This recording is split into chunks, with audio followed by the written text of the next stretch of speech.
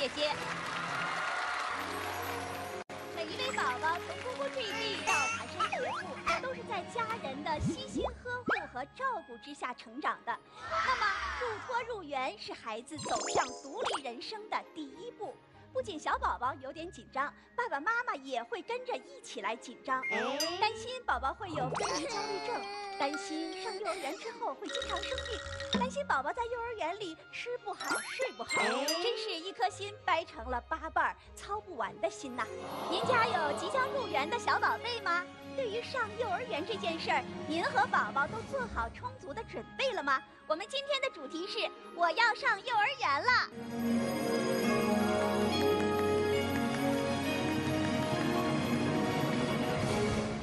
大家好，我是你们的好朋友金豆哥哥。刚才呢，在节目一开始，小鹿姐姐给我们大家提出了一系列的问题。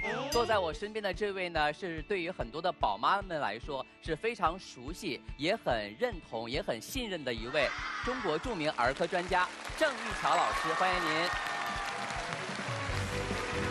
小雷现在还记不记得当初第一次送宝宝上幼儿园的情形？那你当时有没有所谓的分离焦虑症呢？肯定是有一点。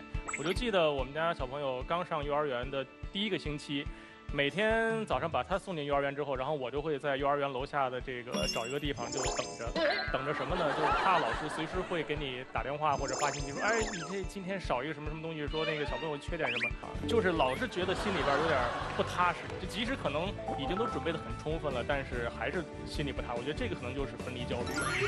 那么，孩子即将入园前，家长都会有哪些困惑和焦虑呢？应该如何帮助孩子做好准备呢？今天呢，我们节目现场就请来了两个小宝宝即将入园的家庭，欢迎他们。你们好，欢迎你们，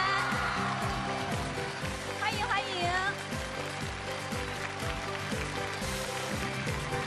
爸爸妈妈好，两位小朋友你们好。我们每个家庭做一下自我介绍吧。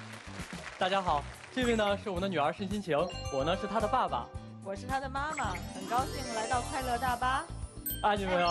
啊，来给大家做个自我介绍。你们大家好，我的陈小成，我叫来川凤，这是我的爸爸，这是我的妈妈。啊，欢迎欢迎慎心情啊，你的小名叫什么？怎么样？是叫念念吗？叫念念。哦，欢迎念念，欢迎。好，我们再请这边的小伙子一家做一下自我介绍，谁先来？小鹿姐姐好，观众朋友大家好，这是我的儿子张潇然，我是张潇然的妈妈，我是张萧然的爸爸。我们很高兴来到快乐大巴，欢迎你们哟。来，萧然，啊，你今天来到快乐大巴，你高兴不高兴啊？呱呱，一会儿有糖果，你高兴不高兴？我心里高兴，我就不告诉你。他属于那种话特别少的孩子，还是说到了陌生环境，我要先观察一会儿？对，他是其实是比较慢热型的人，平时还挺爱说的，只是可能还没熟悉。啊，那么这宝宝今年是两岁零几个月呢？我们现在是两岁零十一个月了，哎，那不马上就三岁了吗？错，嗯，所以说我就是平时啊，呃一直琢磨这个事儿，因为我们家孩子比较小，而且又是男孩儿，我在想，那我们是应该早一点上幼儿园好，还是说，哎，等我们到年纪再上呢？这个其实一直困惑着。嗯，这是最最困惑你们这个呃两口子的一个问题是吧？对，嗯，好，那么我们再问问念念的爸爸妈妈。呃，因为我们女儿呢现在是刚刚满三岁，嗯，然后呢马上就到幼儿园，对她来说是个新的阶段，成长的一个非常重要的环节。嗯所以我不知道她开始会不会感到内心有些害怕，会不会在饮食方面啊，或者休息啊、睡眠方面都会有一些意想不到的地方。哦，主要是他平时吃饭的问题。嗯，在家怎么吃饭？就是在家大多数是呃老人在喂，然后还有一个就是他不爱吃蔬菜，所以到幼儿园里边我很担心，就是他的那个饮食上可能不习惯的会比较多，嗯其他的还好。好，两组即将小朋友进入幼儿园的爸爸妈妈呢，跟我们说了他们在孩子入园之前呢，他们的一些小顾虑。我们听一听专家有什么样的意见和建议。其实上幼儿园的最佳年龄就是宝宝就满三岁了，明白其实小孩他是有有无限的这种潜能，小孩还有还挺好面子，他也愿意在人里边展示，愿意得到老师的赞赏，嗯呃父母的赞许。所以其实啊，我们如果在他面前更多的给他鼓励，啊、告诉他你一定行，他真的就行。其实刚刚在我们聊天的过程当中呢，您反复用到了一个词“鼓励”。这种鼓励不仅是对于我们家长来说的，更是对于我们宝宝也是非常有效的。对，那么，刚才我们还反复提到了一个词，那就是分离焦虑。那你怎么看待这个问题呢？那么孩子他才三岁，他一定会有。那么，孩子的分离焦虑呢，就是，其实就是安全感。他需要有一个呃生活秩序。到了一个新的环境，他就就遭受了极大的挑战。所以呢，不要觉得哎呦我的孩子就不正常啊，有分离焦虑特别正常。而且有的时候分离焦虑越严重的，可能这个孩子他对自我的这种安全和对自我的评价他更强烈。他更敏感他。更敏感，哎，他更敏感。那这个时候，我觉得就是做父母的呢，我们为了降低他的这个分离焦虑的时期，首先呢，第一要做好入园的准备工作。对啊，就是在入园前的一两个月就开始给他下小毛毛雨了。慢慢的啊，灌输告诉他。灌输这些思想，完了让他去演练这些入园的这些东西，还有包括啊他的这个进餐呀、独立进餐、独立入睡啊，还有独立入睡觉啊，特别是午睡，因为到幼儿园他有午睡，要去锻炼他，这是第一个特别重要的入园准备。那么第二个呢，我觉得父母特别重要，就是无论是父母还是家里的人，一定要认识到。入园焦虑以及入园前的什么这种哭闹啊、不去啊，这个都是正常的，一定要接受，要欣然的去接受。你只有你从内心情感上接受了，你才能够坚持下来。否则的话，你要认为是异常，你坚持不下来，你说呀不送了吧，你就会打退堂鼓。你只要让孩子听到你一点点的。那种自己不坚定要不去，那孩子可会察言观色了。马上原来我可以不去幼儿园，那他会更闹，他会更加给你展示出来，原来我是可以通过我的表现来左右你的行为和决定。所以你一定要坚定，你能行，你能行，你永远是坚持的，他也就自己认为自己可以了。这是第二点。那第三点，我觉得也也非常的重要，就是当宝宝。呃，入园以后出现了包括生病啊啊、包括他哭闹啊、吐啊，甚至是不吃东西，听到老师一些那啥，呃，转变这个时候呢，你一定知道，小孩入园以后，他就是生病的几率要多，他也是对他免疫系统的一个考验，也他是他一次次的这种实验演习，这种演练是对他免疫系统是一个成熟的一个过程，他就会更强。以后读了小学，哎，他就可以满。可以不用请假了，就可以全勤了。你不让他经历这一段，免疫系统没有经受这些考验，那肯定就是不行。所以呢，其实，呃，这个幼儿园也是为了读书上学的，这叫学龄前嘛，啊，也是一个一个锻炼。那么最后一个呢，我觉得也是还是重要的一点，那就是宝宝上幼儿园以后，父母可以帮助他很快的去适应幼儿园的环境，就是让他找到他喜爱的小朋友。如果你问他你喜欢哪个小朋友，能够感受到几天就能感，那这时候呢，父母呢就要主动的跟这小朋友的父母 建立友好的关系。哦完了，你也要跟这小朋友打招呼，他感觉哦，原来我爸爸妈妈就认识他的爸爸妈妈，也认识这个小朋友。那这时候他就觉着，嗯，他有朋友，他就觉得到幼儿园不孤单了。不害怕了，那么宝宝就很容易，也很更快的去适应幼儿园的生活。哎，真好，真好啊！我相信呢，郑老师刚才给出的这建议啊，对于这个宝宝即将上幼儿园的宝妈宝爸来说呢，都是特别实用的。其中呢，有一点非常重要的，就是我们在家里的时候要提前对宝宝进行一些训练，对不对？所以这个穿拖鞋呢，也是宝宝这个进入幼儿园要提前训练的。那我不知道我们家宝宝他会穿鞋和穿这个衣服裤子吗？其实这个还真不会。是吗？对，嗯，那不妨这样，我们今天呀、在我们的演播室现场呢，就让呢我们的这两对儿爸爸妈妈都用语言指导和教一教自己的孩子穿衣穿裤、穿鞋穿袜，好不好？我们的道具呢都已经准备好好了，来，预备，开始。哇，念念真棒！哎呦，对了，哎呦，太棒了，太棒了！呀，真呀棒！呀呀，对了，太棒了！对，哇啊，儿子你好棒啊！哇，太棒了，太棒了！厉害，加油！照你这么厉害，哎，看一看，跳到脑袋上，看到另外一个里，找到这两两只脚丫伸到了一条，这边这边到这个袖子里，伸到这个到这个袖子里，对，对，这里，来往上往上拉，小火车过山洞啊！我我看看这小火车出来了没有？哎呦呦，别棒，来了，使劲使劲！找到，加油加油！这儿，这加油加油加油加油！哎呦，成功了！哇，来来来，看 这边这位小兔姐姐，这边这位 哎，也可好以。好，那是谁呀？原来是大头儿子出来了！哇，太棒了太棒了！这儿吧，对对，小手帮忙，那只手呢？手也帮忙那只手，对，爸爸不帮忙了。好，加油加油！爸爸很用力然，后两只小胳膊，在在这儿，小脚丫露出来，对，使劲，再来，用力，这样。哎，好，你看自己来，这边这边自己来，哇，好看，对，把小脚丫露，加油，好看。加油，儿子，在这儿，下面我对，啊，站起来吧，没错，念念就是这样太。棒了，加油，往上哎，好，不管怎么说，我们跳上了，对，哎呀，太棒了，啊，肖然也特别棒，加油，加油，加油。好了，来一起把它放嗯，两只手，两只手。爸爸，你老点头。平时你带孩子吗？都是我来穿，，好，全部都是我穿。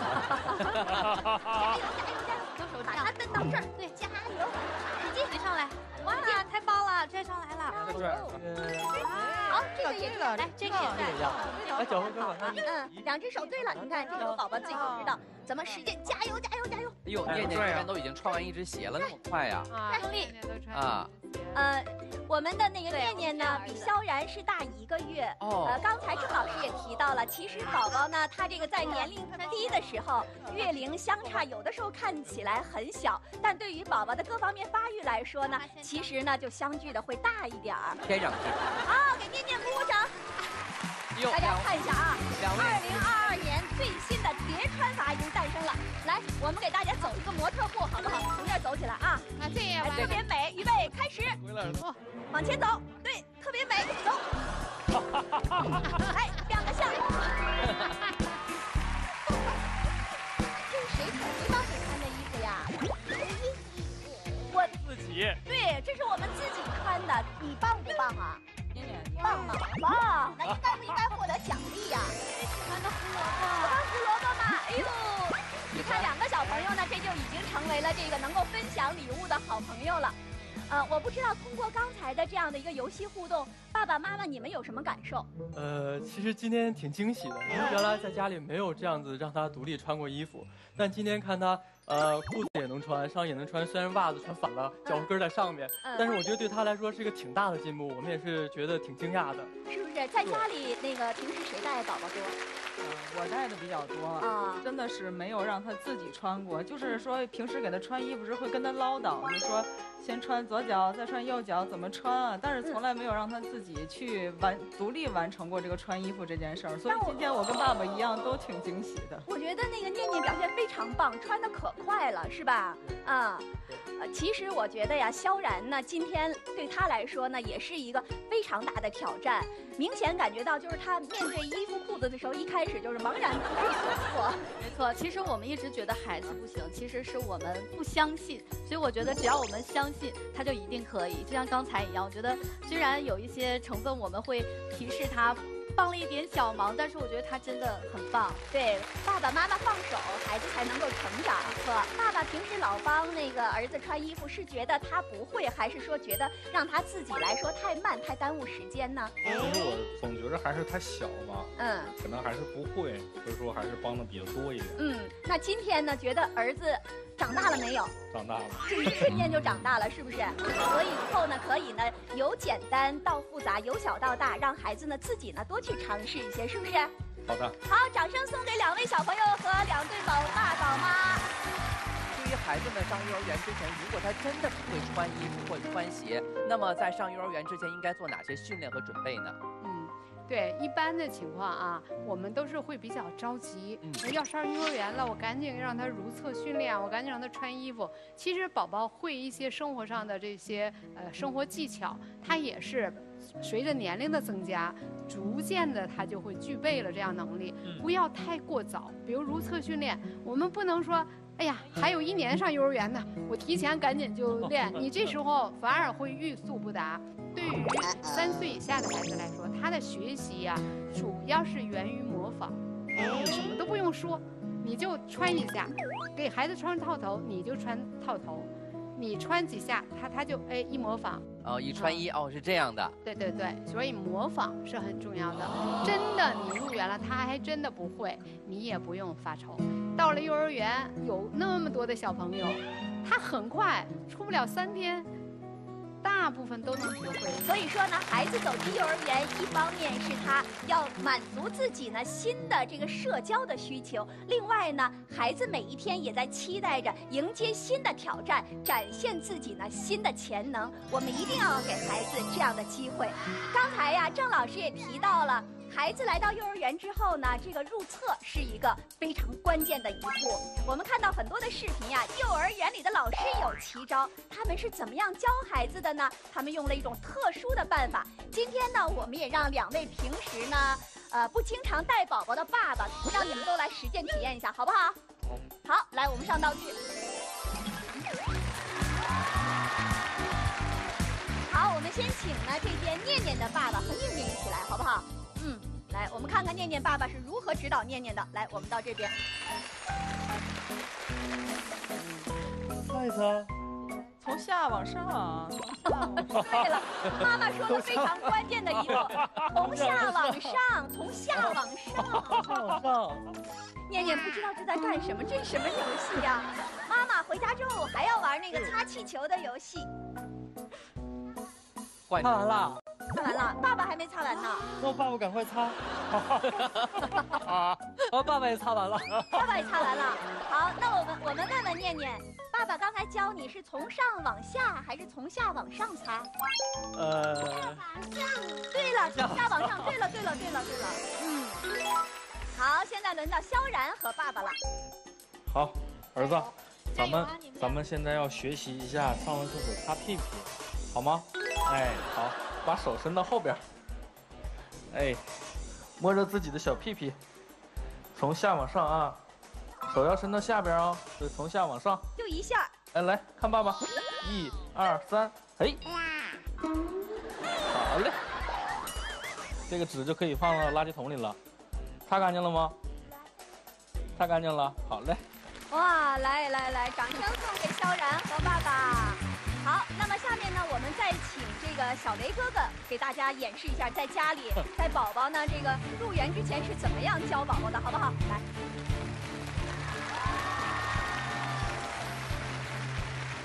我觉得，呃，在教孩子之前啊，因为这个也是经验之谈吧。你看咱们两位爸爸往那一坐，直接就开始这个过程。那作为孩子来讲，他都不知道咱们今天要。或者要练习要学的是一什么事儿？在这之前，你肯定得先跟他说一下，对吧？宝宝，咱们今天练习一下这个嗯嗯之后如何把屁屁给他清理干净，对吧？你得先跟他说一声，要不小朋友都不知道为什么咱们对我们是要擦气球吗？对，而且坐下来之后，我们是不是得跟小朋友说一下，来拿这个气球当成宝宝的这个屁屁，我们来练习一下。嗯。然后还要提醒我们小朋友啊，尽量往身体的后边去够。先学会转身。对，要学会转身，然后尽量去够，然后一定要记住。不要反复的去擦啊，从下往上。就一下，哎，我们对折的时候要轻夹住两边，哎，要躲开这个脏的东西。好，然后拿好之后，我们再转身，再从第二下，哎，再来。再往上，第二下啊，然后我们要观察，还有一点观察我们的这个纸上面是不是还有脏东西，如果还有的话，说明我们没有擦干净。再对折，哎，我们再对折一下，然后注意还是要躲开，哎，然后拿好干净的地方。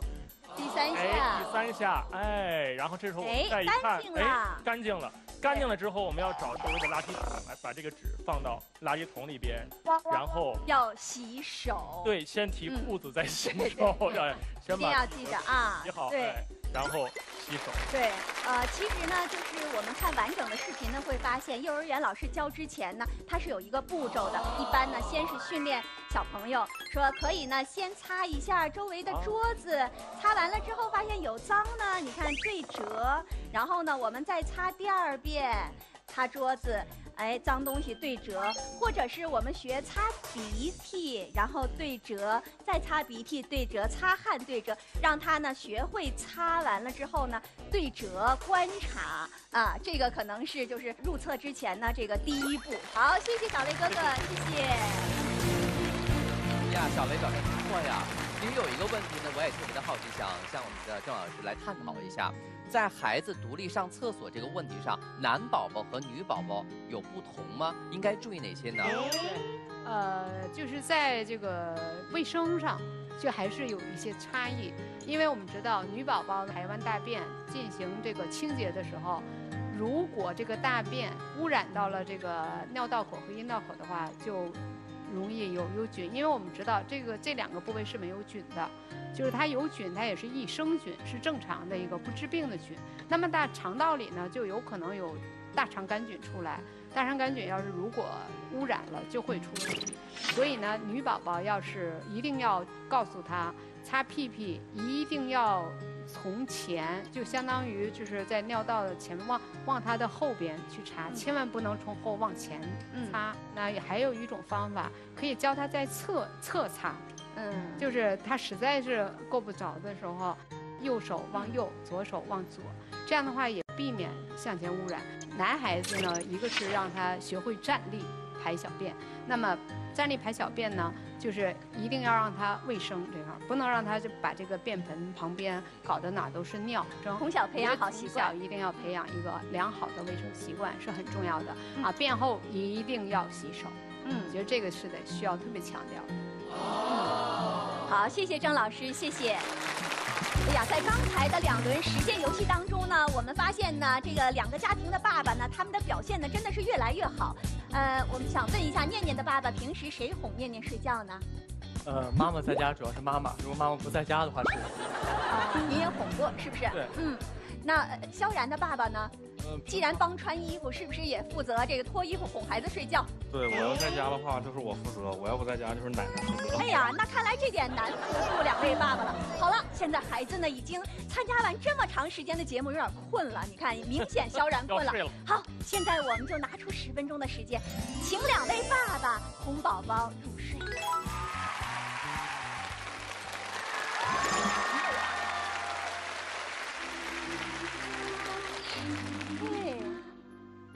把小熊盖在眼睛上也行，如果觉得太晃的话。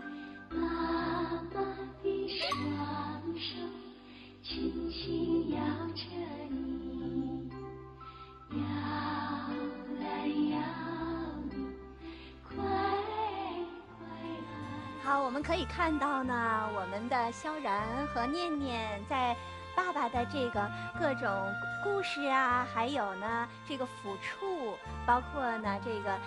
催眠曲的这样的哼唱之下呀，都有了这个入睡的意愿。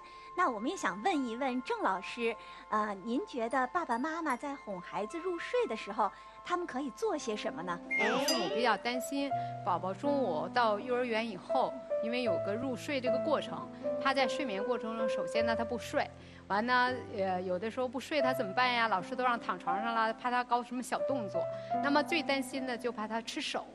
就咬手指甲，那么到了幼儿园这个年龄，他还咬指甲，那大多数是由于焦虑。其实就是说，他并非是因为午睡他睡不着他才咬指甲，他是分离焦虑。为了让孩子在午睡的时候呢，不至于更加的分离焦虑或者咬指甲更严重，就是在入园前的准备，就是入园前的呃三个月之内就开始呢要刻意的去培养。呃，让他这个在入园的时间，让他去午睡，我觉得这是特别特别重要。其实这么大的孩子，在呃陪他睡眠等睡的时候，其实最重要的是，一定要让他学会自己入睡。这是特别拍着自己入睡。对，这是特别特别重要，不是自己拍。睡觉不一定非要拍哟，有的时候那孩子越拍越精神，或者你就放在那儿不动。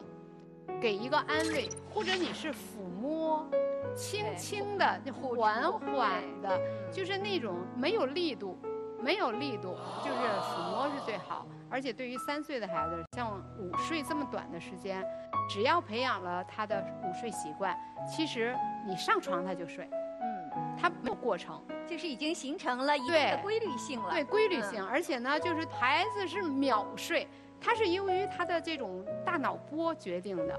只要养成了这个习惯，他到那个点，他就是困了。特别要提醒的就是，假期、周末，孩子本来这五天挺好的，到了周末杀鸭子了，到了假期，尤其是七天长假三天的，那你就完全不让他睡了，给他睡眠节律又打乱了，上上学又得重新。所以呢，尽量的在周末呀、假期，尽可能的让孩子的作息还跟幼儿园不差太多。嗯，那小雷是用什么方法，就是在孩子这么大的时候哄他们入睡呢？进入到入睡觉这个模式这个环节当中的话，我是不建议有特别多的那种，尤其是喜欢啊跟孩子逗得特别开心，你让他的这个大脑越活跃，其实他反而挺难入睡的，因为你想睡觉还是要让他心情要要平静一点。之前你在进入睡觉这环节之前，怎么互动怎么闹都行，但是只要他一躺在床上，告诉他好了，现在我们时间差不多要睡觉了，我跟他们其实是没有过多的语言交流的，因为我觉得入睡这个睡觉这个环节就是睡觉，你就是要塌下心来，然后让大脑不要那么活跃，然后尽快的入睡。这个方法非常管用，嗯就从他们很小就是养成了这个习惯啊，只要我陪他们睡觉，都很快就能睡着。嗯，啊，基本上快的话就秒睡一分钟，慢的话也就十几分钟，基本上都能够搞定。来，爸爸抱起来吧，给两位宝宝拍鼓鼓掌，点个赞啊！我们要为宝宝们送礼物啦！哎呦，送礼物了！好，我们为两位宝宝准备的是快乐大巴的精美的文创礼物全套，送给我们可爱的小朋友们。感谢你们来参加我们的节目，谢谢你们，谢谢。节目，快乐大巴更精彩。欢迎大家拿起手机下载央视频 app，搜索并且关注“快乐大巴”视频号，成为我们的粉丝，惊喜不断。可以呢，一起预约直播，一起来抓盲盒，丰富多彩的文创礼物让你爱不释手。还可以参加我们的云端面试，选拔场外连线的家庭，快乐云游，一起让我们在云端嗨起来。快乐云游是我们专门为在央视频“快乐大巴号”当中参与短视频征集活动和参与我们直播连线的互动家庭而专门设置的现场游戏环节。让我们一起来期待一下今天两组家庭的精彩表现。好，现在呢，我们就视频连线两组家庭参与我们这个环节的游戏内容。你们好，你们好，你们好。欢迎你们，欢迎你们。呃，我们先请穿红衣服的小姑娘来做一下自我介绍吧。呃，大家好，我们叫李新贝，今年三岁四个月了。啊，我是新贝的妈妈。我叫侯思如，我五周半了，哦六岁了。嗯，好，那么现在呢，你们的游戏的这个任务来了啊！第一个游戏，请你们找出幼儿园春游的时候要带的东西是什么？找春游的东西啊。对，春游应该带些什么呢？吧？小时候春游的时候，经常会提前准备，一宿非常兴奋的睡不着觉。啊比如说有这个吃的，酸奶、嗯，面包。烙烙张糖饼。哎，对对对对对对，然后一定要带点咸菜。哎，对对对对，然后那个榨菜一定要带上。我是昨天晚上刚刚收拾了一下，准备明天带小朋友们去这个去野营，所以这还我还真是收拾了好多东西。会带帐篷吗？帐篷肯定是有，然后还有连充气床垫，然后那个野营需要的那个，因为在外边我要要要烤串呃，烧烤是一部分，然后还要煮就是做菜煮吃的，所以我还专门准备一个对那个一个一个这个野外用的炉子，嗯啊，包括这小的煤气罐，然后还有现在还要准备好大的一个那个便携式的充电器啊，这不都找完了？都回来了，这么快？好，来来，小小侯同学一家给我们大家介绍一下，你们家找到了什么？我找到了口罩，举起来啊，对，现在这个口罩特别重要。还有找到了眼镜，哎，太阳镜。对对，防这个强光，防太阳光的。帽子，对，遮凉帽、遮阳帽。雨伞，还有水。嗯，没错，这个特别重要啊。还有什么？对，哦蚊子。花露水、防蚊液。好，我们看一看这面，我们小宝贝找到了什么？这是什么？帽子。帽子。还有呢？纸巾。纸。嗯，啊啊，这个看见垫子留野餐的时候铺一下，是不是啊？哎呀，都非常的棒啊，非常的全。好，第二项啊，请每个家庭的爸爸妈妈呢，可以代表你们家庭给郑老师提一个问题。哎，新辈的爸爸妈妈，你们有什么问题想问郑老师？啊，郑老师您好。哎，你好，呃，我们家庭是这样的，孩子现在是三岁四个月嘛，嗯，我们发现呢，他从两岁开始到现在有一些就是所谓的重复性的错误。他这一件事情，可能我们跟他说了很多遍，但是呢，他就是还是会犯。但是孩子自己是内心是知道的，就他自己很清楚我这件事情是错的。嗯，打一个比方说吧，我们说不可以在那个电梯上蹦，可是呢，就是他一进电梯就很不自主的就会去蹦蹦跳跳，然后我要马上喝止他，然后跟他说这个危害是什么，他就会停下来，啊，他自己也会说妈妈我错了，但是当第二次踏入电梯的时候，他还是会这样，嗯，就所以我就很苦恼，哎，为什么说了那么多遍，但是他就是好像在意又不太在意，这种是为什么呀？我们怎么才能用一个更好的方式，能让他以后不犯？对于这个年龄段的宝宝，还有比他更小的宝宝，所谓的对与错，对于他来说，其实我们成人有成人的判断，他有他的判断。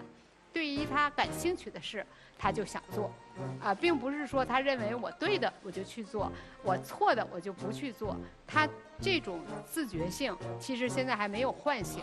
对于在电梯上蹦这样的，你要是彻底想让他说这件事情不要去做，其实你可能要给他一个一个，比如找到一个这样的视频，好像电梯里呃一蹦。啊、或者是有什么这个做了什么行为，完这电梯出故障了，啊、比如电没有啦，或者什么样，哎、你要会再要这样做，从频繁的做，它就会出问题。你就说那个一蹦了就会出问题，仅仅是你说了，他没有办法想象，不是孩子的问题，孩子应该没有什么问题，喜欢重复做一件事，是这孩子的特点。反正我一般要碰到这种情况，就是如果我发现我们家小朋友在这个阶段，他可能某一件事他会重复犯错的话，我就会在下次，比方说电梯这个问题，我也之前也是说了很多次，就是你进入轿厢之后不能碰，那小孩他确实想不起来，但我下次我就会在他进电梯之前，在等电梯的时候，我就会跟他说。马上我们要进电梯了，你想想爸爸之前跟你提示过什么？你想一想啊，然后他就会想哦，你跟我说过这个不能蹦，我说那就看你怎么做。然后进去之后他就不蹦了。就有的时候他我们不能等到他进去之后蹦了之后，每次反复去说，其实有的时候更多提醒在前面。好，希望呢对你们一家有所帮助。好，现在就请小猴的爸爸妈妈向郑老师提个问题吧。呃，是这样的，呃，我是侯思如的妈妈，她现在也已经五周半了，啊、但是我发现有一个问题呢，在他身上挺明显的，就是这个孩子呢比较怕黑，胆子比较小，所以我们现在呢就锻炼他呀，晚上让他自己睡。啊，等到他睡熟了之后，我们大人再跟他一块儿睡，因为有的时候我发现他就是这个问题比较严重一点，什么都很害怕，胆子比较小。这就叫心理暗示，这让他潜意识里知道他自己不行，他那个怕黑，呃，那黑会是对他有什么伤害？另外呢，其实不是您家的宝宝，几乎所有的宝宝都是这样的，都怕黑。比如说一睡觉一关灯，他就会不愿。不让关，我现在还怕呢。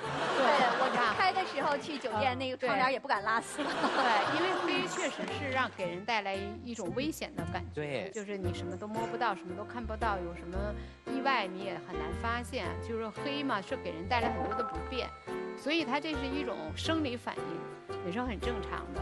呃，不用特别强强化这件事情，你可以就是呃尝试着带着他，呃去一个，就比如说，哎，我们探险一下，我们上那个屋里，这屋没有开灯，去看看发现什么东西吗？我们发现这里有床，发现这里有什么东西，可以跟他做游戏。其实不要认为他这个黑是错误的，怕黑啊，越聪明的孩子，越这个思虑比较多的，越谨慎的孩子，他会越对某些的这些环境越越更加的敏感。对对，两位小朋友都特别棒，嗯。好，那金豆哥哥，我们是不是应该送给两位这个特别勇敢，同时刚才呢这个动作又迅速、想得又周到的小朋友礼物呢？恭喜两位小伙伴，今天表现都非常棒，你们可以获得我们快乐大巴送给你们的机器人，还有小雷哥哥手中两个特别这个哎有快乐大巴特点的靠枕，谢谢你们参与我们的节目，礼物呢随后送到你家，再见啦！百岁，长忧九十九。孩子成长的每一步呢，都牵动着爸爸妈妈的心。如何让孩子顺利的从家庭进入到幼儿园？除了呢提前科学的训练之外呢，给宝宝养成良好的作息习惯，并且呢家长做到平稳的心态和积极乐观向上的探索新事物的态度，都可以给宝宝带来一种非常良好向上的引导。我们要相信我们的孩子，因为他们比我们的想象更棒。祝每一位宝宝入园快乐！今天的快乐大巴就到这里了，下期节目再见。